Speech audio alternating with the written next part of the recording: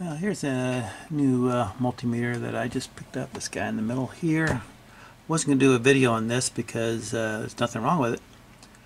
But uh, I kind of want to open it up and see, uh, check the date codes on the chips to see when it was made. I'm thinking probably mid 80s. So this is the Fluke 37. It's really just one of these uh, Fluke 27s repackaged into a, a, a desktop um, package. Now it didn't come with the tilt bail which connects down there so I kind of just made my own out of wood so that it's angled up properly. Um, I've been kind of wanting one of these since I saw it on uh, EEVblog uh, and uh, Tony Albus um, channel. Uh, those two guys had them and really liked them. They thought that was a cool uh, form factor so I picked up one relatively cheap off eBay think it was uh, what I pay? 40 bucks uh, with free shipping.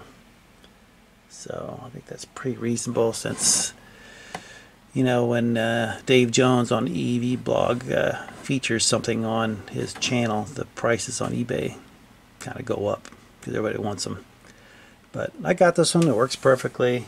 Uh, it had one bad uh, fuse in there, but it was the small little fuse that you get a uh, spare with the uh, unit. So I just popped the spare in. It's perfectly working.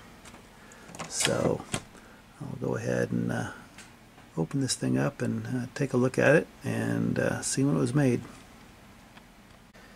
Okay, got the meter out of the case, and this is actually the meter itself. There's not much to it. Again, it's just one of these repackaged. the same size.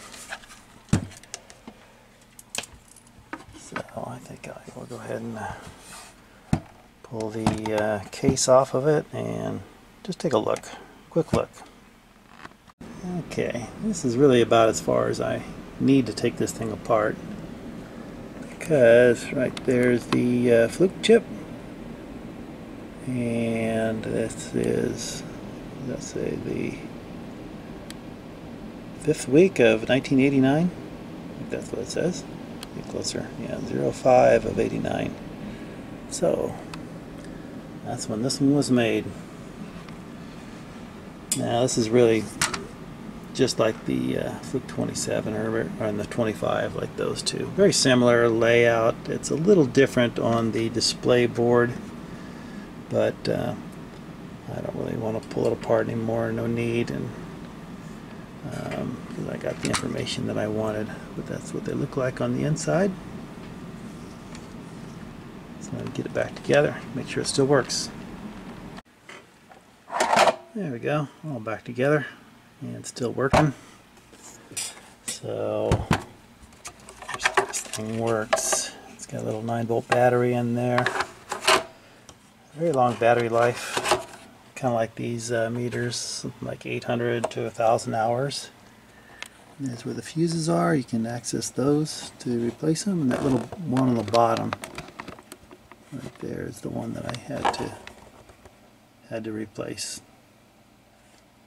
So I ordered a new set, and right here's where uh, the spare goes. So when I get those in, I'll put a spare back in there. So there we go.